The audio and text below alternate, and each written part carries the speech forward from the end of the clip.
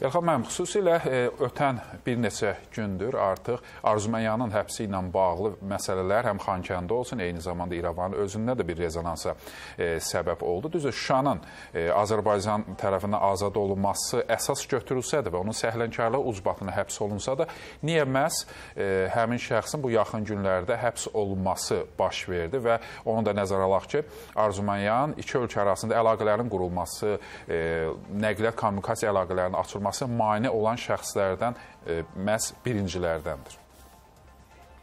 E, əslində bu Brüssel görüşünə bunun təsadüf etməsi də təsadüfi deyil. E, bilirsiniz, indi vətən müharibəmizdə qarşı tərəfdən onların adı ilə desək Arçaq Azadlıq Ordusunda onların Ermənistan Silahlı Qüvvələrində o ümumiyyətlə gedirdi birinci ümumi qoşun ordusunun bütün komandanlığı əslində e, Qarabağ separatçılarının yetişdirdiyi və müharibədə iştirak edən komandanlar, komandirlərdir. Xüsusən də bunların kökü hamısının o vaxt e, Robert Koçaryan və Sarkisyan dönəmində, xüsusən də Müdafiə naziri Sarkisyan olanda bu zabitləri, generalları Arzumanyan da daxil yetişdirib vəzifələrə gətirən o klanın üzərindən müharibədə iştirak edən bir qurum bu kütlədir. Əslində deyək bu komandanlar Nəticə etibarilə bizim üçün bunların hamısı hərbi cinayətkar kimi tövsif olunur. Çünki birbaşa e, Azərbaycanın həm ölkə əhalisinin e, e, həm də müharibədə iştirakda əli qanda olan hissəsidir. E, nədən indiki dövrdə biz bunu sülh sazişinə gedən yolun kontekstində qiymətləndirməliyik. Təbii ki, Paşinyan hakimiyyətinin e, qarşısında duran güc kimi bunlar sahədə özlərini yansıdırlar.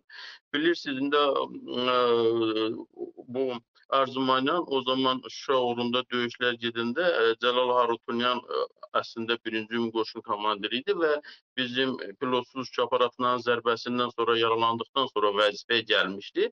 Əslində Ermənistan İstintaq Komitəsi bu generallar üzərində xüsusən də Qarabağ müharibəsi üzərindən bir istintaqı davam etdirir. Əslində siyasi hakimiyyətin niyyəti isə ə, e, kökü Sarkisyandan, Kaçaryandan gələn və Qarabağda ə, e, müharibədə iştirak edən və indiki güc olaraq Paşinyanın qarşısında duran bu kütləni əslində sıradan çıxartmaq, siyasi səhnədən çıxartmaq səbəbidir. Təbii ki, bu səbəbi birbaşa onlar belə adlandırmayacaq, amma Qarabağ klanı Paşinyanın bugünkü gündə Qarabağ siyasətinin qarşısında çox ciddi maneə törədən bir e, haldadırlar. Ona görə onların hər birini necə ki Sarkisnyaya qarşı, Kaçaryana qarşı, ondan sonraki mərhələdə Seyran Ohaniyana qarşı cinayət işləri qaldırılmışdısa, növbəti mərhələdə bu prosesdə e, Paşinyan hakimiyyətinin qarşısında kim aktiv durursa, onlar üzərinə təbii ki, vətən müharibəmiz üzərindən e, belə deyək, Ermənistanın hərbiçilərinin Qarabağı qorumaması baxımından